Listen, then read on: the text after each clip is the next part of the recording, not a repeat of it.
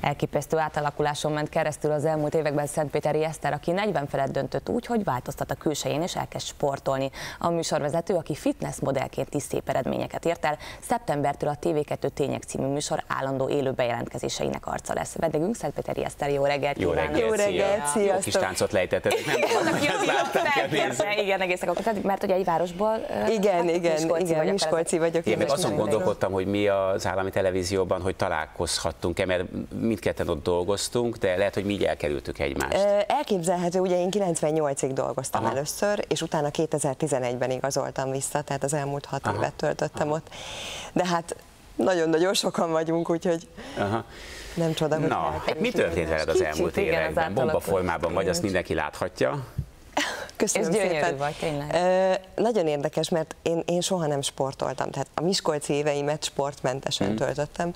Ö, kicsit bánom, hogy kimaradt ez a fiatal koromból, a gyerekkoromból, de hát ami késik nem múlik, az embernek eljött a, az a bizonyos negyedik X, és, és az addig semmilyen gondot nem okozó étkezésemmel tulajdonképp 12 kilót híztam egy nyár alatt. Tehát, de.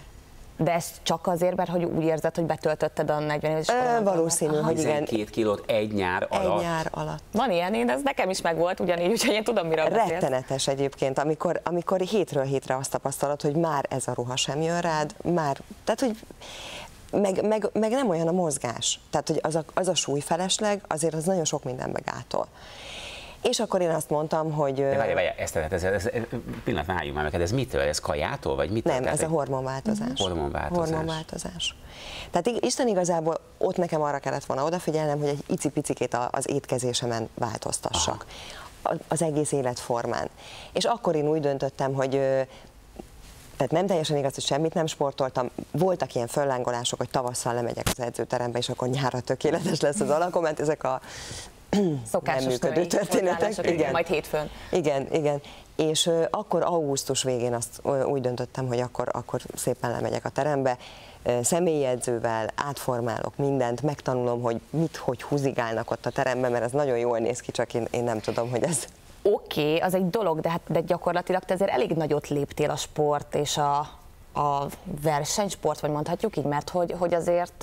Ezt nem gondoltam én sem. Igen, versenyzel. igen, Tehát, hogy- igen, igen. Tehát én elkezdtem 2012-ben a sportolgatást, és aztán utána én olyan ember vagyok, akinek nagyon-nagyon kell a motiváció. Uh-huh. Tehát, hogy ahhoz, hogy én eredményesen, meg hosszú távon tudjak valamiben közreműködni, ahhoz nekem mindig új motiváció kell.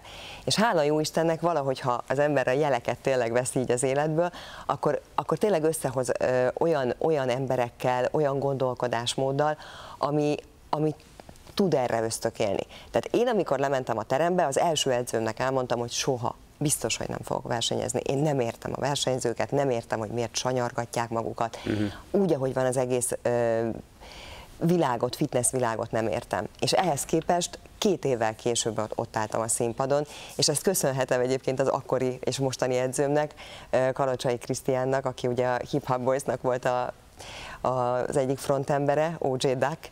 Ö, ő, ő, ő egy ilyen olyan, Aha. olyan fajta energiát, és olyan fajta, de a mai napig, tehát nála nincs az, hogy most is belecsúszok olyanba, hogy hát figyelj, ma nem hagyjuk ki az Fáradt edzést. Ő határozott nemmel válaszol. És így nem érti. Aha. Ezeket a mondatokat nem érti. Hála a jó Na Isten. kérlek szépen, Kicsit akkor még egy mondattal azért jó egy pár a szeptemberi új kihívásra. Mi Igen. leszel, mi leszel te itt? Jövök a tényekbe, úgyhogy, úgyhogy tényleg Istennek hála kollégák leszünk. Hát a Most tények, még ezt mondod. Köszönöm, Billy. a tényeknek leszek a külső bejelentkezője, ö, aki különböző, tehát hétfőtől péntekig különböző helyszínekről, érdekességekkel, napi aktualitásokkal, hát sajnos valószínű az élet sokszor fogja írni a mi témáinkat, Igen. de, de én leszek ennek a, az arca, és nagyon-nagyon boldog vagyok, De és nagyon várom. Na kíváncsian várunk Szeretettel sokat fogunk fogadunk. a Köszönjük szépen. Nagyon Köszönjük szépen köszönöm, köszönöm.